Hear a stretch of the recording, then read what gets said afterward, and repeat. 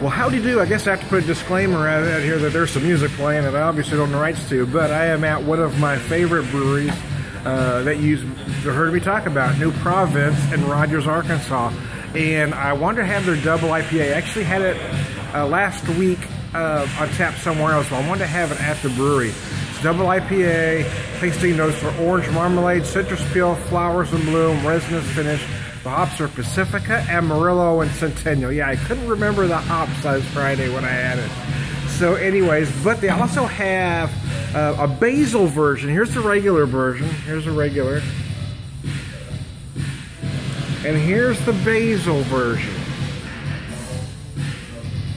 So what they did actually with that basil, it's not brewed with the basil, they put the basil in the keg. So I'm gonna get some notes from the regular double IPA first. Okay, it's a orange marmalade, citrus peel, flowers and bloom. bloom uh, oh, that's tasting nose, not necessarily a nose. I'm getting a lot of big citrus on the nose though. I'm getting that, that orange marmalade and the citrus peel.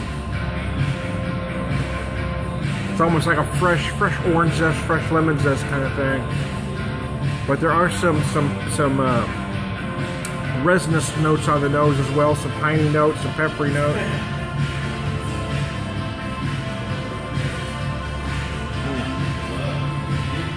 Gosh, I've had this. Uh, I, I, had a sample of this at a, at, at, a place with a growler bar called Guess Who. I had a I had a, a glass of it last week at uh, Brick Street Brews and Rogers, and man, I got to tell you, this thing is gorgeous.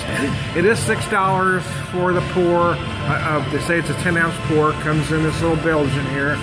Um, but it is 8.7% 95 IBUs. In the grand scheme of, of craft beer and craft beer tap room prices, I'm to call it not bad.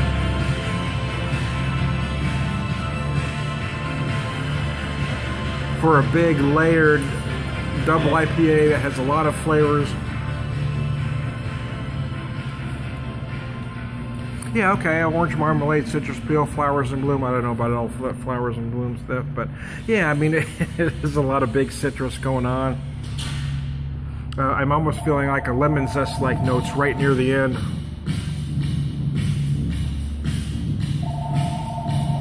With some slight peppery notes as well. I'm going to change gears here and try this basil version. Oh, see, that's just flipping awesome. On, on the nose is, is, gorgeous because, well, I, I, get that citrus, man. I get that, that nice citrus. I get those uh, orange zest, those lemon zest notes combined with that fresh basil. It's got that, that beautiful kind of hobby farm uh, aroma to it.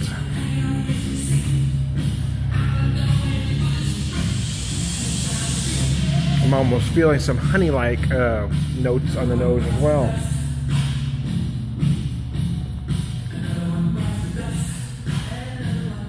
Oh wow, see this is, it, it already is a multi-dimensional double IPA to start with. It really is. And then you add that basil and that that just takes you to a whole other place. The basil itself adds dimension, but the way it combines with the other flavors adds yet another more layer or yet more dimension, adds yet another layer to it all. Wow.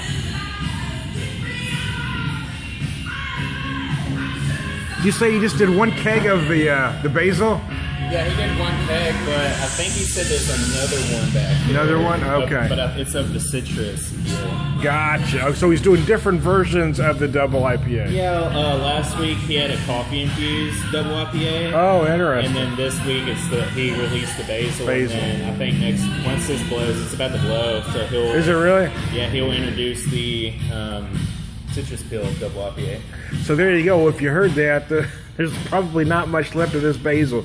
So get on down to New Province in Rogers, Arkansas. It's time to beer with We'll talk to you later.